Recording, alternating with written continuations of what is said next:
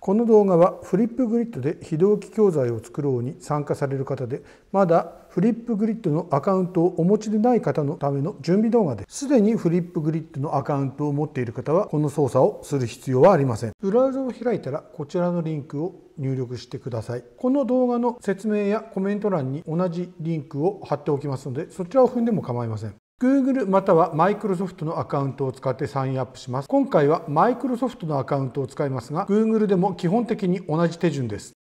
お持ちの Microsoft アカウントを入力し、パスワードを入力してください。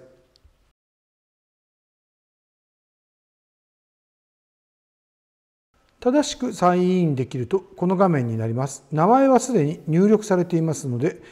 国と教えている学年、自分の生年月日を入力してください。Welcome to Flipgrid の画面が出ますので、右上の×をクリックします。この画面では Exit を押してください。間違って Keep Going を押した場合は、ここで右上の×を押してください。これで準備は完了です。オンオンフェスでお目にかかれることを楽しみにしております。